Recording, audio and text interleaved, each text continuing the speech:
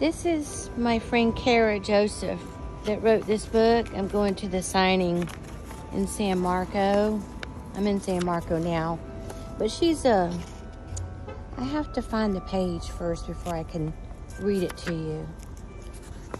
She is a wine connoisseur.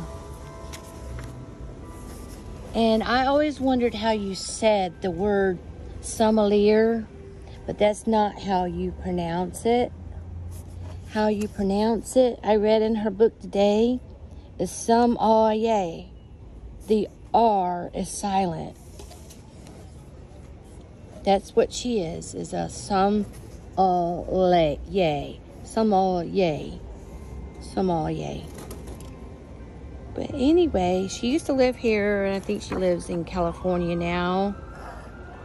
Um, I think things slowed down quite considerably when the COVID hit Jacksonville or the world. And I could be wrong, but I think that's what made her move away from Jacksonville. I think she lives in Sam um, in California somewhere. But anyway, I bought her book at the San Marco bookstore yesterday because I was afraid they were going to be out today. But at 5 o'clock, which is now, she will come in and sign books. So I'm going to have her sign my book, and then I gave her, her ca a card. But anyway, I'm hitting Starbucks for a minute just to relax for a minute and then I'm going to head back across the street to the San Marco bookstore. So if you want to talk to Kara or buy her book, she'll be there from 5 to 7 at the San Marco bookstore. So I highly recommend you head this way. All right, have a great day. Bye.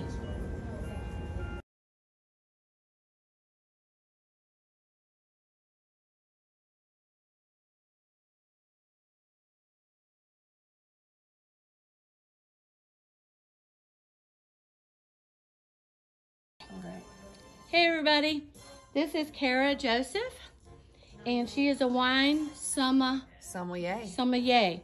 And she wrote this book, If Wine Could Talk. And I'm going to let her share a little bit about some wine that she's showing and sharing tonight Of course. with her book signing. So the lovely Goldie just did a food and wine pairing, which when you read my book, you'll learn all about it. But we used a sparkling wine from Friuli Venezia, which is northeastern Italy, and we paired it with a kind of a spicy aioli and mm-hmm. cornbread. So what happens is she took a bite of that cornbread with this spicy aioli, and it was rich and a little little heat. But what happens is this wine has so much vibrancy and its brightness and it's mouth watering. It takes away some of that heat and creates this beautiful lift to the bite. And then that saltiness of the cornbread makes the wine even more generous and sumptuous on the palate. So, food and wine, Very good. no Thank better you. way to live. Thank you. and I'm going to go take a picture of the uh, Sure. cornbread you were telling Well, telling come, us about. come see me for more wine. Okay.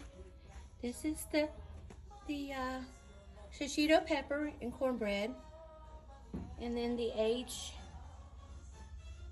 goat cheese,